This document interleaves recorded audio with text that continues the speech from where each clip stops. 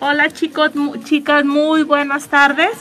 Estamos iniciando un nuevo programa, temazo de hoy. Espero que se conecten para que nos escuchen. Hoy nuestro programa se, se llama Sanando tu niño interior. Entonces le damos a la bienvenida.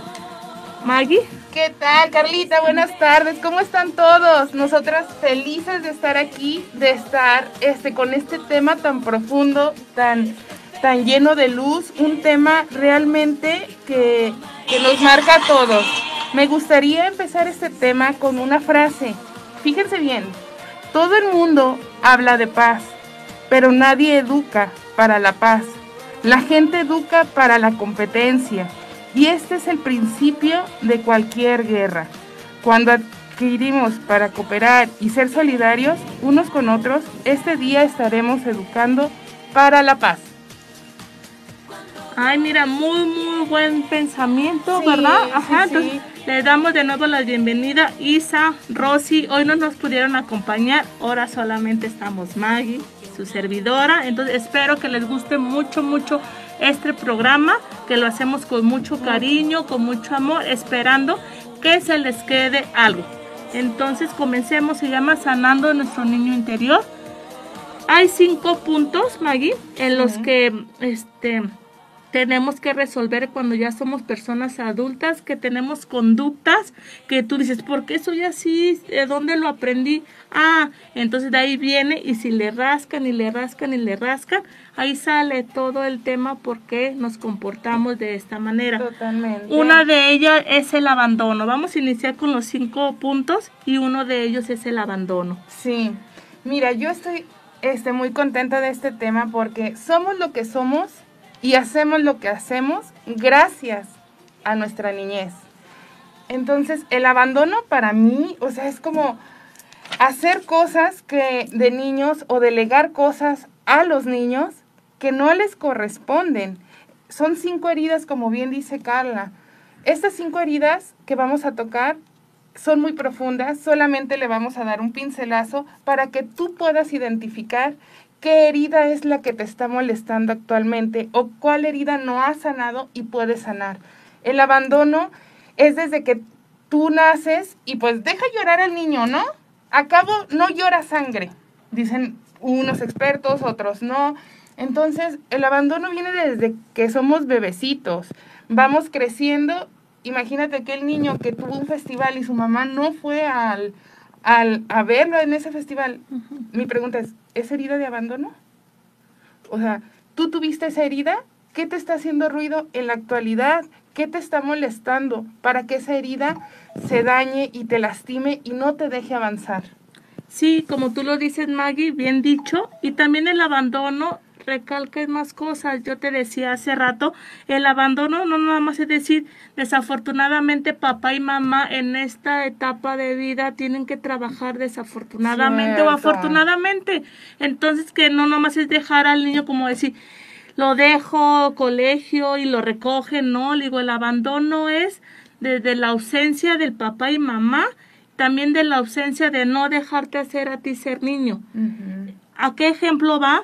Decía ahí este, una maestra, decía, no nada más es decir, hijo, te dejo, es darle responsabilidades.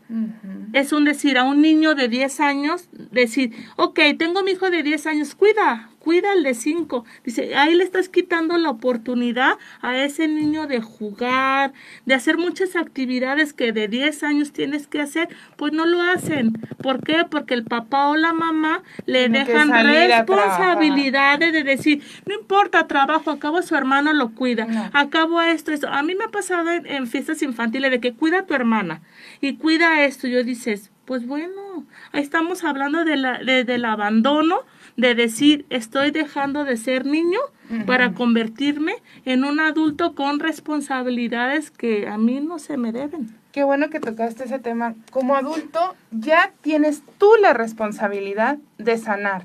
Por esto este tema, por eso estas cinco heridas que hacen tanto ruido, por eso tanta guerra, tanta discordia, tanta envidia, tanto coraje, porque desde niño no sanamos esa herida, no se nos enseña a sanar esas heridas, pero ahora en, adul- en la adultez tenemos la responsabilidad de sanarlas. Yo conozco una persona, fíjate Carlita, que así le pasó, cuidaba a sus hermanos y ahora que, que, que está este, mi niña, pues ahora dice, es que yo ya no sé jugar. ¿Por qué? Porque se saltó, o sea, su etapa de, de infancia, como dices, no la disfrutó. Entonces, imagínate qué tan profunda es esa herida que te ata de manos y no te deja disfrutar a los niños que están al, alrededor. Exacto, tienes mucha razón. O otro de que de plano dice, ya no quiero tener hijos porque cuidé a mis cinco hermanos, a mis seis hermanos. No fui niña, no fui adolescente, no estudié, no tuve la oportunidad y fui mamá de esos cinco. digo, a mí me ha pasado casos que hasta dicen, mi mamá en realidad no es mi mamá, mi mamá es mi hermana. Y la ven así como tal. O mi hermano, ¿por qué? Porque mi hermano se hizo la, el responsable de cuidarnos económicamente, cuidarnos, o mi hermana. Y a veces dice, pues se murió la mamá, pues sí era mi mamá, pero a mí la que me cuidó fue mi hermana y, tú te quedas así dices, oh, y, y este, haciéndolo de este tema me dice, ¿cómo te das cuenta de que fuiste abandonado en tu niñez? Y dice, porque te haces bien condependiente de, tu pareja. Ajá. Entonces yo me quedé así, me dice, sí, cuando traes, este, eh, que estás sanando tu niño interior y te das cuenta que fuiste abandonado de grande, tú eres bien codependiente de tu pareja. Es que todo, todo se marca en la niñez. Vuelvo y repito. Si tú, ah, este, ya conociendo estas heridas, no las pones en mano de Dios y no trabajas con ella, te va a costar muchísimo poder avanzar. La herida de abandono, por lo general, todos la traemos. ¿Por qué, Carlita? Porque nos tocó otra época. Entonces, la finalidad es que ahora teniendo el conocimiento, impulsemos a esos pequeños para sanar esa herida, o sea, sanarnos a nosotros en gracia de Dios, sanarnos con estos temas para que Él pueda redimirnos totalmente y podamos seguir avanzando y ayudar a estas nuevas generaciones. Sobre todo, como tú dices, ayudar a nuevas generaciones. Hace rato yo platicaba con una de mis amigas y me decía, sí, Carla, pero afortunadamente ahorita hay muchos temas, hay muchas iglesias, muchos cuadernos, mucha información donde te dice, yo estoy sanando a mi niño interior, y dice, pero antes no lo había. Antes tú luchabas contra tus demonios por dentro, pero tú solo. Dijo, ahorita quien no se ayuda es porque no quiere, porque hay mucha información en todos los lugares. Entonces digo, bueno, sí es cierto, pero a uno se nos dificulta más que a otro. o no te quieres dar cuenta, sí, ¿verdad? Sí, o sea, seamos adultos responsables, de verdad. Si estamos aquí, es para, en esta tierra, en este momento, si tú estás aquí conectado, estás eh, con ese ímpetu, ímpetu, perdón, de conocer más hacia el tema, haz algo, tienes las herramientas, como dice Carlita, tienes todas las herramientas en tus manos para poder sanar la herida de abandono, para poder poner esta herida en manos de Dios. Pero Dios no lo va a hacer solo, ¿estás de acuerdo? O sea, cualquier herida, analízalo. ¿Qué te está frenando en tu vida actualmente para poder dar el siguiente paso? ¿El abandono? Esa es la que te está fallando, investigalo. Nosotros te estamos dando un poco de, herramientas, herramientas ¿verdad? Como para decirle que le digo, es que es un tema muy amplio. Es hermoso. Una, ajá, una de mis tías que está de coaching ahorita en Nueva York, saludos tía, fue la que me echó mucho en la mano en la mañana que le decía, tía, es un tema muy largo y muy profundo. O sea, para una hora de radio no te puedes dar cuenta, mi se es que da las herramientas. Sí. Son cinco pasos que tú da la herramienta y te hace consciente. Si yo le dije a Maggie estudiándolo, te das cuenta de tantas cosas que dices, ah, caray, ¿qué me está pasando? Y lo estás escribiendo y te estás dando cuenta que de verdad tú también estás ¿no? Sí, les recuerdo que estamos viendo el tema de sanando tu niño interior. Ajá, entonces a todos los que se están conectando, muchas gracias por sus saludos, conéctense, bienvenido a los que apenas lo están haciendo en Conociéndonos Valora Radio.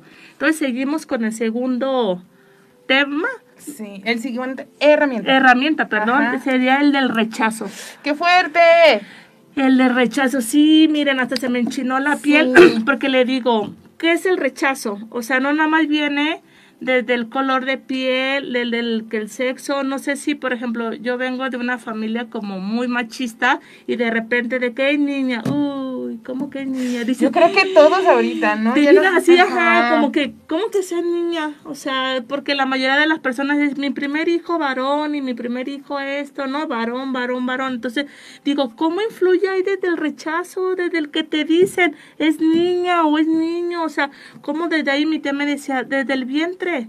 Desde el vientre el niño ya siente el rechazo y a mí me lo dijo un testimonio bien fuerte, me dice, por eso mi hijo es así conmigo, por eso mi hijo no me tolera ahorita porque yo lo rechacé desde que estaba embarazada. y yo, ¿cómo que lo rechazó? Sí, porque yo no quería, estaba en una situación fea con mi esposo, con todo que yo decía, ¿por qué estoy embarazada? Dijo, y ahora que mi hijo está grande, no me la llevo bien con él y me rechaza me rechaza y me rechaza y me dice, no mamá, es que no te siento como mi mamá. Qué fuerte. Escríbanos, ayúdenos a, desarrollar este tema con sus experiencias. ¿Ustedes qué hasta ahorita, qué herida creen que tienen?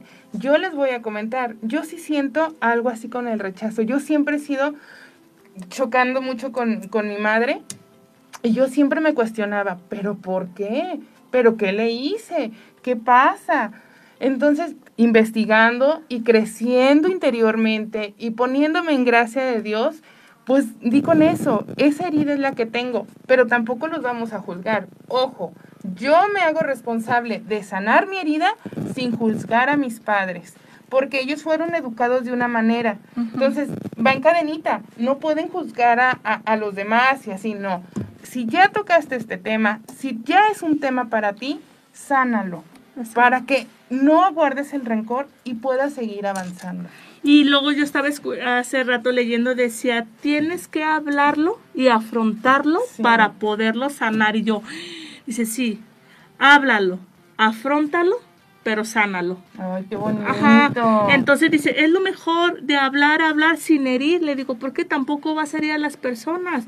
Le digo, pero sí hablar, hablar, hablar, hablar lo que no te parece y afrontarlo y sanarlo. ¿Qué es lo mejor que puedes, verdad? Hacer sanar desde tu niño interior.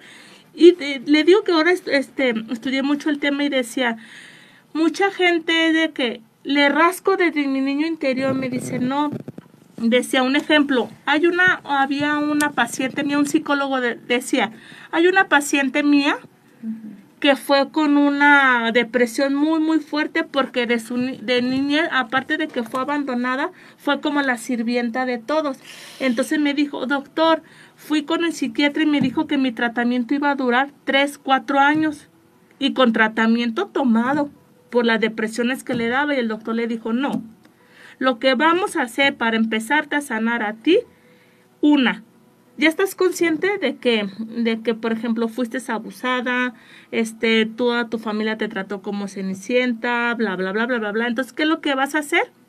Ahora tú poner tus límites. Desde ahorita que tienes 30 años, vas a empezar a poner los límites que no pudiste poner en tu infancia y eso te va a hacer feliz. Tú no vas a ocupar 3, 4, 5 años de terapia, tú no vas a ocupar medicamento, tú lo que nada más te voy a decir, cuando salgas de aquí, pon tus límites, enséñate a decir que no cuando no quieres, cuando sí, sí, y eso es toda tu terapia. Dijo, ya está la fecha, tienes 5 años siendo mi amiga, sin ninguna terapia. Lo único que aprendió ella es a ponerse límites que no se los puso desde su infancia. Claro. Y es todo. claro. Eso fue toda su terapia. Sí, fíjate que sí, porque cuando tú sientes el rechazo, lo que más quieres es quedar bien. Y aceptación, sí es cierto. Buscan, eso se me ocurre, buscar la contraparte. Ok, si yo sufrí de rechazo, este, ¿qué hago ahorita en la adultez? Pues busco la aprobación, la aceptación de todas las personas. Entonces yo creo que es por ahí, ¿verdad? Le dijo, no busques este, aceptación, quiérete, ámate. Exacto. y pon tus límites. Y respétate, sí, claro, con sus límites. Sí. Entonces, eso fue toda su terapia y se me quedó tan grabado como, como digo, como alguien te puede decir que tienes que durar cinco, tres, cinco años de terapia con todavía medicamento tomado y resulta que dice, no, mm. tú para poder sanar ese tipo de infancia, lo que tuviste, solamente pon tus límites enseña a decir que no cuando él no, enséñate a decir que sí cuando lo quieras y sí, pon tu raya, sea tu mamá, tu papá, tus hermanos, familiares, amigos, ¿no? Atienda a liberarte y dijo, y listo, y hasta la fecha, cinco años sigue siendo mi amiga y sin ninguna terapia de nadie. Gloria sí, dijo, y dijo, y claro, con mucha oración, porque ese psicólogo es como de mucha oración, oración, oración, y dice, pero salió adelante. Claro. Sanó su niño interior, pero ya estando de 30 años, o sea, no le tuve que escarbar desde lo pequeño para qué le escarbaba si ya sabía de dónde venía ella, es decir, no soy aceptada nunca fui valorada. Ah, pues ahora sí me voy a valorar a mis 30 años. Y dijo, y hasta la fecha es feliz. Claro. Encontró un buen esposo, tiene sus buenos hijos y ella lo que ha aprendido a sus hijos a llevarlos por el buen camino. Yo le decía, ¿qué es el buen camino? Pues a la felicidad, a no dejarles temas ni este, como te digo, ejercicios que no les corresponde, porque ahora le llaman, no, o son actividades que no les corresponden. Y digo, sí, es cierto, ¿no te ha pasado con gente que dice, y cuida a tu hermano, y cuida esto, y él no te toca, y él le cambia el pañal, y esto, y dices, no. Totalmente. Entonces, ¿tú cómo te vas a sanar? Van dos herramientas en las que podemos este, trabajar. Son cinco, repetimos, son cinco, llevamos dos. Abandono, ¿Cómo lo vas a sanar? ¿Ya lo identificaste? Rechazo. ¿Lo vas a sanar? Hago hincapié en esto porque es bien importante que nosotros sanemos para recibir abundancia, para recibir bendiciones, para recibir señales. Porque si tú no sanas, aunque el maestro te mande todas las herramientas, no las vas a ver. Porque no estás sanado, porque no estás listo.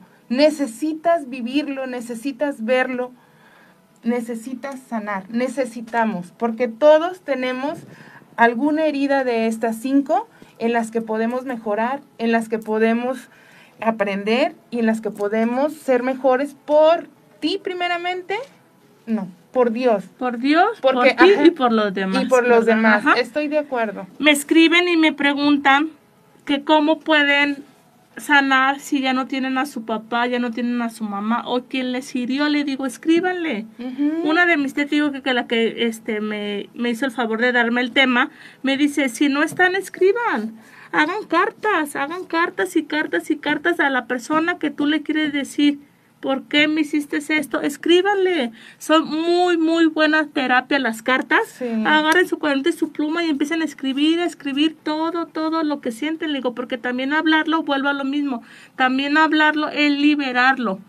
Entonces, ¿qué es lo que hacen? Escriban. Si ya no está esa persona o está y no tienen el valor como para decir, me afronto a ti, pues escríbanle una carta. Y si está, pues mándensela. Y sabes que lo importante sí es hacer reconciliación con esas personas, pero recuerda que lo estás haciendo por ti, porque no puedes cargar con esas heridas toda tu vida, porque si no, no vas a avanzar. Tú ves gente envidiosa, mal encarada, que dices, ¿qué le pasa? O sea, no entiendes su actuar.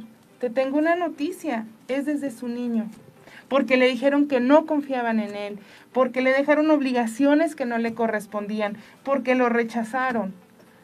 Imagínate qué tan importante es trabajar en esas heridas, qué tan importante es conectar con tu niño interior. Es importantísimo para poder avanzar. Sí, sobre todo muy, muy importante porque dices, Maggie, no te deja avanzar, hay algo que te atora y, no lo quieres ser esa persona que lo eres, pero lo haces, ¿por qué? Porque vas arrastrando, ¿verdad? De tu niñez algo que no te deja ser feliz, no te deja dar como otro pie. le digo, de verdad, ínquense, pídanle a Dios que les ayude, que los ilumine, de verdad, Él lo hace porque yo como testimonio propio lo hago y lo digo, ayúdame, ayúdame a ser mejor persona. Me cuesta trabajo, claro que me cuesta, porque ahorita estoy debatiendo como con mi genio, como con el que estoy enojado con la vida porque pues me quitó mi papá, y, pero lo vas entendiendo y dices, es que no te lo quitó. Es que era Dios tenía su destino para él y fue su ciclo de vida y ya pero lo vas entendiendo, pero a través de sanando tu niño interior, que voy viendo los temas, voy viendo que tengo también arrastrando cosas de mi interior que no los quieres ver, ¿verdad? Entonces digo, bueno, va la lucha, muchachos, de verdad, este, lúchenle, lúchenle por sacarle y de verdad métanse a estas herramientas y van a ver que ¿Y poco cuál es la tercera herramienta? La tercera herramienta es humillación. Qué fuerte. Ay, fue la que más dije, ¿cómo es posible Híjole, que del híjole. niño te hagan humillación? O sea, Pero los papás, o sea, vuelvo y repito, ojo aquí, no puedes juzgar a tus padres, porque es la gracia más grande que Dios nos dio. Es difícil, yo personalmente te lo digo. Ya es eres difícil. mamá, lo Ya sabes, ¿verdad? Mi mamá, este, mucho tiempo en lucha, pero la admiro tanto. Saludos, mamita. La admiro tanto, es mi fortaleza, porque al verla a ella, es el reflejo de, de- de fortaleza, de verdad admirable. Pero qué fuerte ese de la humillación. Sí, lo que yo, cuando leí que era el tercer paso de la humillación, yo dije, ¿cómo puedes humillar a un niño? O sea, el niño tiene la inocencia la más pura Ay, que puedas sí. tener. O sea, tú crees, uno de grande dice, ¿sabes lo que es una humillación? Pero ustedes creen que un niño de 5 años, 10 años va a saber lo que es una humillación. Híjole, ¿no? no. Y no lo hacen, dije, y a mí, por ejemplo, ahorita voy seguido a los parques y eso, que llevo a mi sobrina y veo cómo los mismos papás pueden humillar a la gente. He visto, este, mm, personas, me tocó con una niña como de 10 años en un negocio y que la niña dijo, voy a vender dulces. Y la mamá le decía, sí, ya te puse a vender dulces, sí, pero ¿sabes por qué? Fíjate cómo le empezó a decir, ¿sabes por qué vendo dulces? Porque tú a toda la gente le dices que soy burra. Entonces, ahora para que se te quite, una niña de 10 años, para que se te quite y veas que de veras sí soy burra, no voy a ir a la escuela. Y la ¡Qué mamá, fuerte! la mamá estaba toda roja, roja, roja y decía, en la casa hablamos, no mamá, tú ya me pusiste a vender dulces, pues ahora no voy a ir a la escuela. Ahora sí para que a toda la gente le digas que soy burra. Ahora sí me voy a convertir en una burra porque no, ah, pero la niña sí bien, Bien propia, segura. bien para dijo, no voy a ir a la escuela. Sí. Y yo me le quedaba viendo y la muchacha roja, roja decía, en la casa hablamos, no mamá, es que tú eres buena para decirle a toda la gente que soy burra y que soy burra. Pues ahora sí para que veas que soy burra. Y tú dices, una niña de 10 años. Fíjate cómo son. O sea, de, de, de cómo la está dañando desde ¿Y cómo chica. la marcó? Y cómo la marcó esa. Pasó. Como a los ocho días la vuelvo a ver y la niña llega y da un letrerito de que, ah, ya tengo novio y que no sé qué, una niña de 10 años. Entonces nos empieza a platicar y dice, es que el niño me gusta mucho. Y yo, ¿a poco tu mamá a esa edad te deja tener novio? Sí, y la, la mamá dice, pues ¿qué, ¿qué más hago? Yo digo, ¿y qué creen que me dijo lo peor la niña? Me dice, lo malo es que mi novio me pega.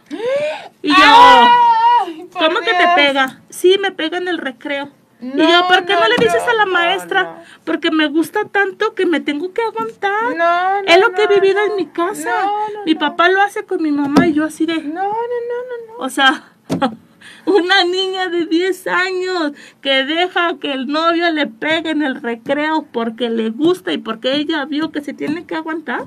Imagínense. Entonces dice, imagínate desde dónde viene la humillación desde su cerebro y decir, pues me tengo que aguantar porque a mi mamá la han humillado, pues Jamás. yo me tengo que humillar también porque No. así es la vida. O sea, dice, 10 años esta niña. No, qué 10 fuerte, años. qué fuerte. Y que se deje pegar por el novio de 10 años. Y lo peor, que se te, que ella quiere Ah, aguantarse. sí, o sea, que diga porque me gusta y aparte porque me compra muchos dulces. Y tú dices, "Oh, ¿qué estamos viviendo? O sea, padres, oren por sus hijos, de verdad. atento. Yo veo a la mamá que le escucha y que le da risa. Digo, ¿cómo te puede dar risa que tu hija diga, mi novio me pega en el recreo? No. O sea, que te dé risa, Maggie. O sea, tú puedes creer que tu hija venga y te diga, mamá, este, el niño me pega en el Jamás. recreo y tú así de, ay, hija, pues no te dejes. O sea, no, porque, por Dios, digo, no. porque sabemos de lo que estamos hechos cada uno y sabemos lo que vamos sembrando. Entonces, si tú ya identificaste que tu pequeño, tu pequeña está en alguna situación vulnerable, por muy graciosa que sea, tienes que buscar la solución. Tienes la responsabilidad, a ti, padre, madre de familia, tienes la responsabilidad de dejar valores, tienes la responsabilidad de sanarte, tienes la responsabilidad de esa criatura que se va a quedar aquí. Entonces, ¿qué vas a hacer? ¿Qué vas a hacer? ¿Quedarte, reírte y nada más? Ahora con las redes sociales, tantos TikToks, tantos Instagram, que graban a los niños, este, poniéndolos en, en una... Frente ve digo, ¿cómo es posible que un hijo le pueda pagar a un papá, que le pueda dar un golpe en la cabeza y se ría? Tan así de simple hecho, mi papá veía mucho el Chavo del Ocho. Eh, a través de este tema sacaron como varios capítulos de como de ejemplo y salió ese. Decía, ¿cómo es posible que un niño que no, ten, que no tuvo papá y mamá, digo, es un programa, pero dices, ¿cómo tú te puedes dar risa porque eran como programas cómicos? Pero si te pones a ver el mensaje que te deja en la mente era como un niño sin papá y mamá, todos lo humillaban. O sea, era el pobre, el que no tiene nada, el que yo te humillo, el que yo como bien. Y tú, ahora yo me puse a pensar y digo, ¿y cómo tú veías ese programa y te daba risa? Y cómo ahora lo ves profundamente y dices, sí es cierto, como el chavo del ocho siempre fue un niño pobre que nunca tuvo nada y toda la gente lo humillaba, cómo le pegaban y era de nomás el llorar y esconderse y ya. Gracias a Dios estamos evolucionando y debemos de evolucionar de la mejor forma y con las mejores herramientas, porque así como vamos evolucionando en ese tipo de programas que ahora ya detectamos cosas, pues también está la otra contraparte que evoluciona la gente, que capta a los niños y los hace este bajar este en gracia, o sea, hay tantos distractores ahora que es necesario contener y educar. No no, por favor, no te pierdas la oportunidad de educar en gracia. No te pierdas la oportunidad de educar, por favor. Exacto, Maggie, tienes mucha razón. Entonces, qué terrible. Ajá, dice, las personas empiezan a ser masoquistas. Entonces dice, también la otra contraparte, ¿qué ha visto el niño que trate hacia las niñas? ¿No? Dices, pues bueno, algo ha visto, pero lo peor que dices, a lo mejor los papás del niño no se dan cuenta, porque él no está en la escuela, pero que la niña venga y platique, me pega mamá, me esto, y tú me dices que burra, y ok, voy a ser burra, y la mamá solamente le dé risa, dices, por Dios. O sea, ¿cómo es posible que tú como tu hija te estén diciendo, mamá está pasando esto y la mamá de que, ay, no pasa nada, tiene 10 años, todo es padre? Y sobre todo que permita que los 10 años tengas novio. No, no. Pues no. o sea, digo, pues no, o sea, no está padre. Entonces, ya cuando vi que ahí decía, son masoquistas, ese tipo de personas, dice, ah. ¿Cómo, ¿Cómo podemos detectar este más a una, a una persona que trae esa herida de humillación? Es, es una persona que es masoquista, es una persona que no pone límites, o sea, que pasa, o sea, que si pasa sobre injusticias, o sea, si se le está haciendo injusticia, yo me imagino que ese tipo de personas, pues como está tan acostumbrada a someterse, pues las pasa por alto. Entonces, es aquí importante que tú identifiques qué herida es la que vas a sanar. Son cinco y podemos tener cinco, dos, las que sean. Pero si tú ya detectaste que eres un individuo que deja pasar injusticias, que se siente menos, que no puede resolver los problemas sin ayuda de los demás, muy probablemente tenga este tipo de, herida, ¿no? Exacto, yo, yo siempre he debatido sobre personas que he tenido en la vida que digo, ¿por qué te sientes menos? Yo creo que en esta vida no eres más ni eres menos. Afortunadamente pues la vida te dio la fortuna de estar bien con un, ¿no? Con unas herramientas o no, qué padre. Le digo, pero mm, creo que nadie somos mejor que nadie. Ni Maggie puede ser mejor que yo, ni mejor que Maggie. Somos complemento. Exacto, somos complemento. Digo que el presidente que fue mejor, pues tuvo suerte, tuvo suerte, pues no sé qué tuvo.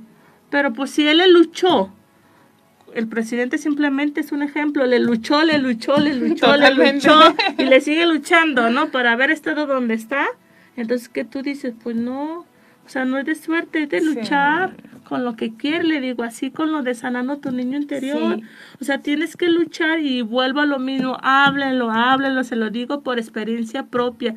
De verdad, si lo hablas, lo que crees que te duela, lo hablas y lo hablas y lo expresa, va a llegar un momento en que lo hablas tan padre que ya no te duele. Le digo, cosa que hables y no te duela. Está sanando. Está sanando. Exacto. Entonces le digo, lúchenle, lúchenle. Le digo, nadie somos perfectos. A veces me dice, se te hace bien fácil, el otro día me dijeron, se te hace bien fácil sentarte en la radio y hablar y hablar. Y yo, no es fácil para empezar, porque no venimos de una escuela que digas, estudié locución, no, Lo, no lo traes, ¿verdad?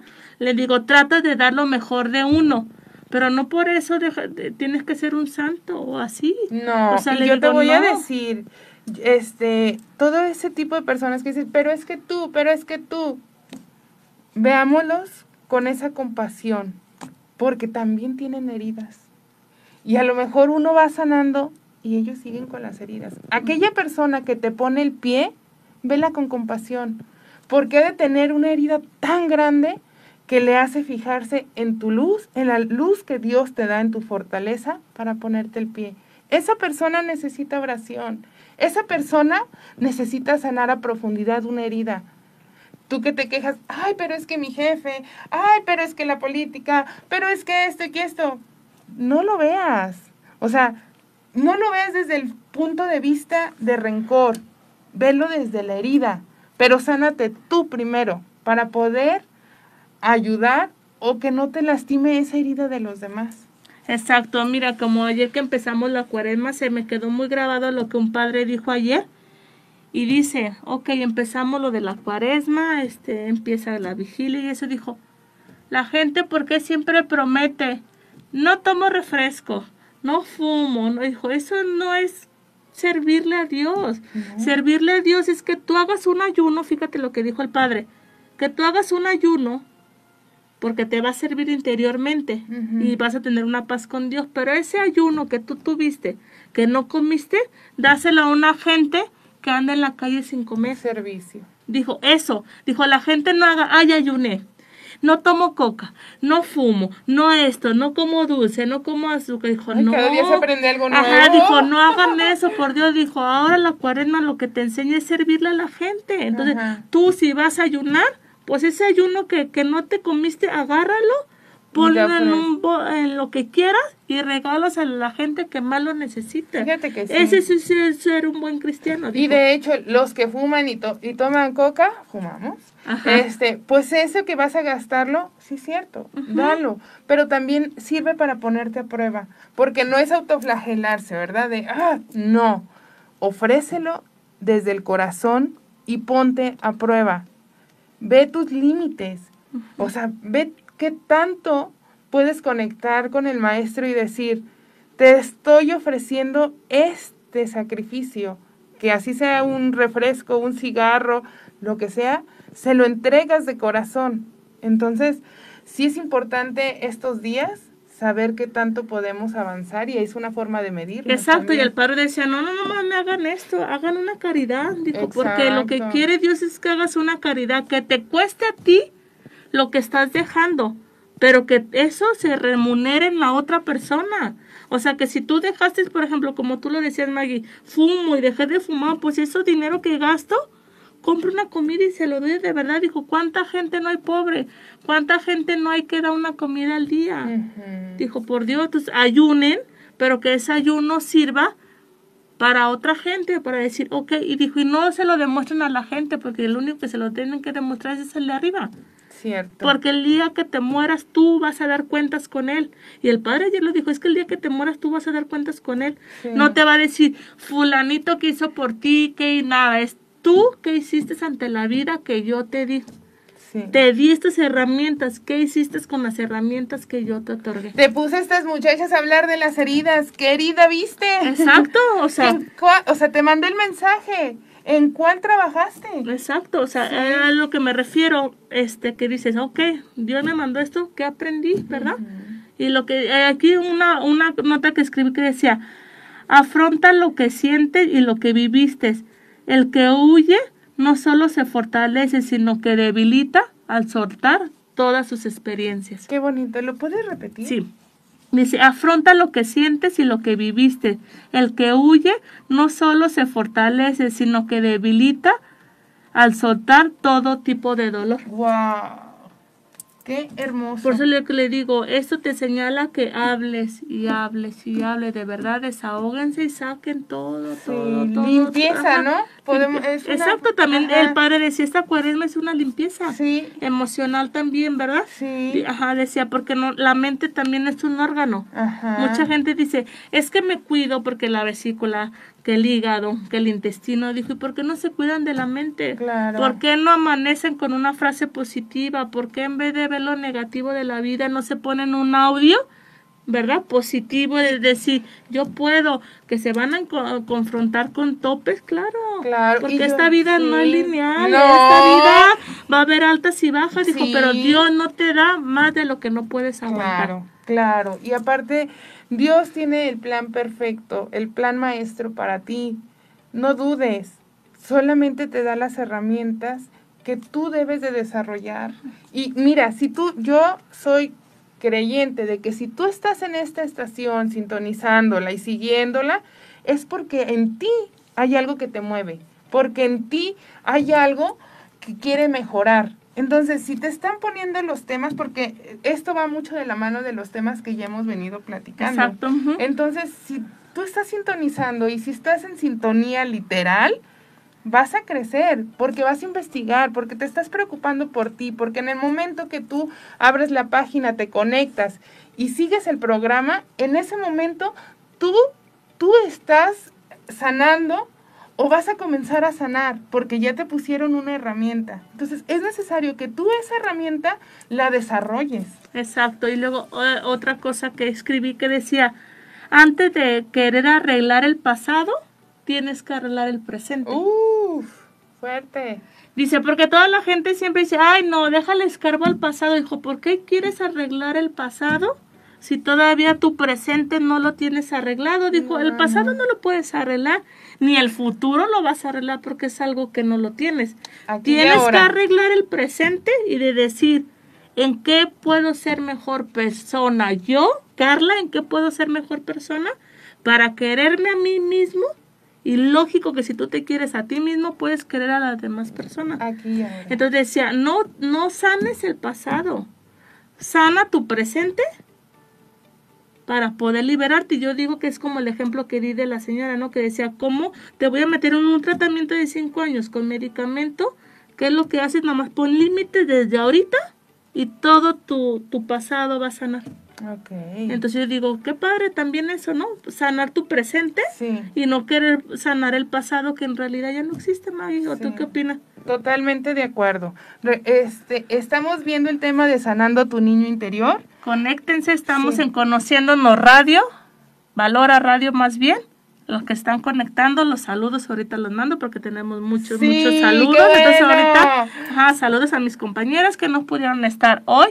Isa y Rosy, pero desde aquí les mandamos muchos saludos de donde anden. Échale ganas, por motivos de trabajo no pudieron estar con nosotros. Saludos. Entonces vamos con el cuarto. Sí, podemos recapitular cuáles van. Exacto. La, la herida de abandono, la herida de rechazo, la herida de humillación, humillación, y vamos por el cuarto. Que es la traición. Herida de traición. Herida de traición y tú dices, pero si no estoy casada, ¿quién me pudo haber traicionado? Ah, no, no, es necesario. No, es que la traición no viene de una pareja. No. ¿No? No ¿Tú siempre. de eso? No, No, siempre viene de una pareja, ajá. Viene de otro tipo de especulaciones. ¿Tú qué opinas? Yo totalmente de acuerdo de que no tiene que ser forzoso de una pareja, porque si no lo encasillas. Estamos ahí totalmente de acuerdo. Puede ser de tus padres, de un amigo, de tu cuidador, de una maestra. Acuérdense que si so- de niños somos vulnerables y somos una esponjita. Somos la más hermosa esponjita de Dios. Te invito a ti, que nos estés sintonizando, que te imagines como niño.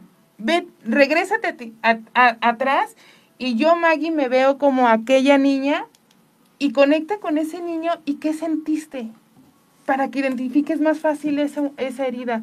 O sea, vuelve atrás, de verdad, cierra tus ojitos, escúchanos y siente cómo es tu niñez. Siente ese episodio en tu vida que te marcó para que puedas identificar tu herida. Exacto, es lo que le decía, porque me decían, ¿qué es eso de traición si mi pareja? Yo no, no es que es tu pareja, ese abarca como tú lo decías, todo tipo de traición, o sea, puede ser el que le hayas confiado algo a tu mamá y que digas, mamá, ¿por qué cuentas algo esto? Sí. Cuando, por ejemplo, las niñas nos llegan nuestro periodo, ¿no? Que tú vas de repente todo lo, lo, cuentan, ¿verdad? Sí, sí, cierto. O simplemente, fíjate que me estaba metiendo mucho este tema, decía de traición, también decía de los abusos que tienes tú como en tu infancia. Sí. Esa es una traición y una de lealtad a tu persona. Entonces, ese más bien se, se basaba el de la traición a tu abuso, como a veces uno sufre un abuso de cualquier familiar, ¿verdad? Esa es una traición. Y una de sí, y muy fuerte. Y ese tema, la verdad, de traición no nada más es este, como hay traición, este, la mamá o el papá, algo que contaron que tú no querías, no. Ese tema yo lo saqué de traición desde un abuso tanto sexual como físico, como todo, May. O sea, ¿puedes creer desde dónde te echan a perder tu vida?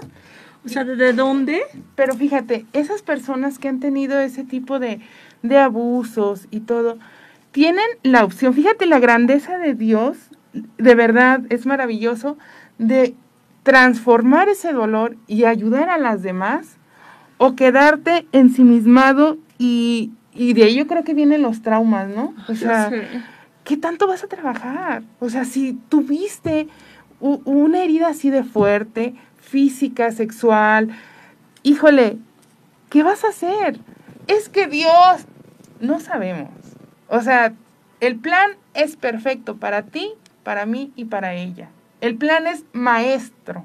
¿Tú qué vas a hacer?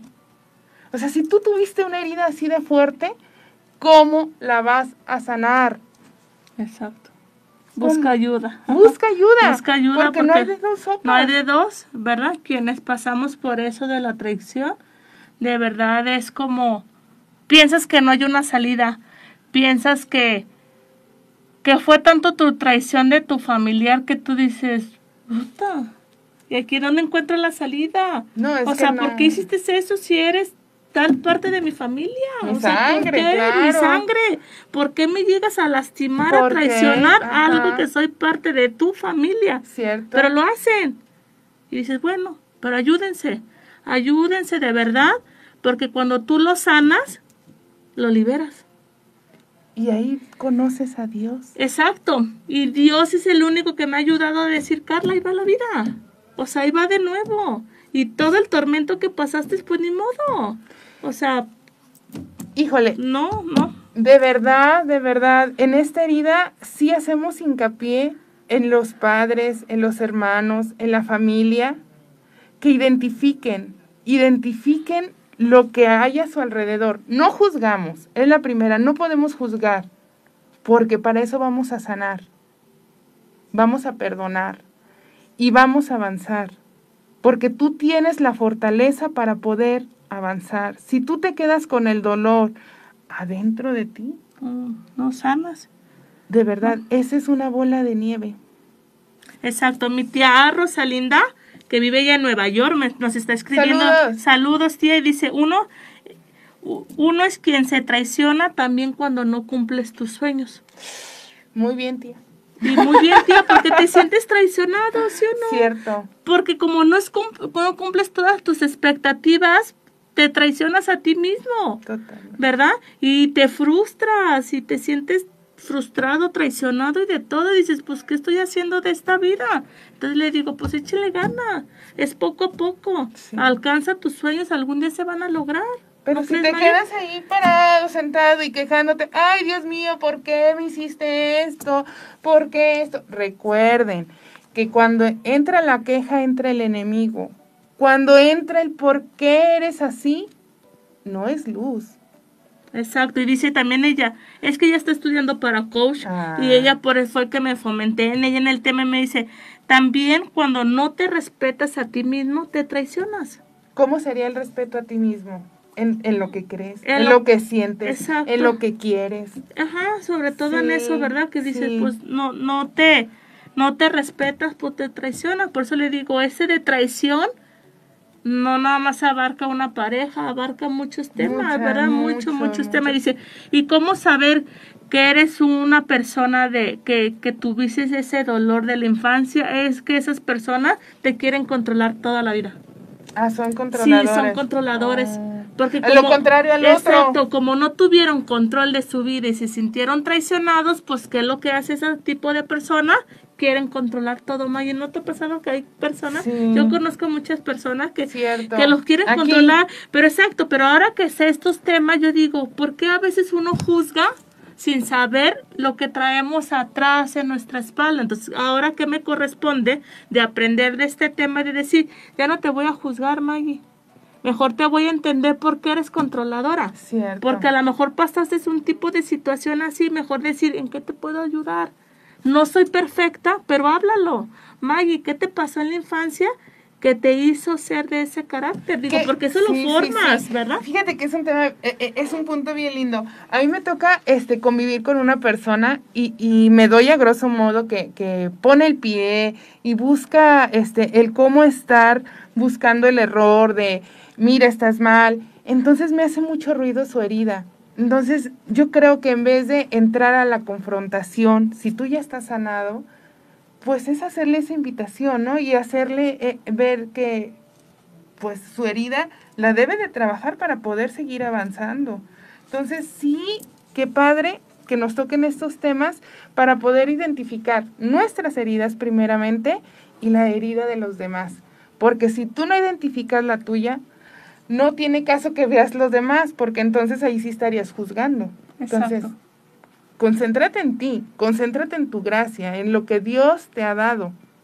Y a partir de ese amor, de esa pureza, de, de esa gracia, fíjate en las heridas de los demás, sin juzgar. Así sean padres, así sea familia, así sea quien sea, velos con amor, porque todos andamos rotos. Exacto, pues lo que te decía, ahora que ya sé estos puntos, pues ya no voy a decir, oye, así, mejor tratar de ayudar, ¿verdad? Tratar de ayudar y de decir qué ahí hubo atrás de ti que te llegó a formar este carácter, ¿verdad? Pero en fin, entonces ya lo saben, para que este, este cuarto de traición vea que la gente controladora es porque tuvo ese tipo de evento Bien. en su infancia, ¿verdad? ¿Qué otra herida, Carla? La injusticia es la última herida, ajá, de, de, de tu infancia, que es la injusticia. Cuando te trataron a ti, dice, cuando te trataron de injusto en tu niñez, eres una persona rígida. Híjole, y eso va de la mano con la primera. Exacto. Porque tuviste abandono, te dejaron ahí a las criaturas tú en una edad corta y es injusto. Exacto. Yo creo que esta engloba casi a todas, porque es injusto tener un abandono, es injusto el rechazo, es injusto toda la humillación, todas esas heridas son injustas. Esta, este, yo creo que es la más profunda y que sí deberíamos de identificarla. ¿Y cómo actúa una persona injusta, dices? Dice que, por ejemplo, una, una persona injusta actúa de la forma de, de que nada cree.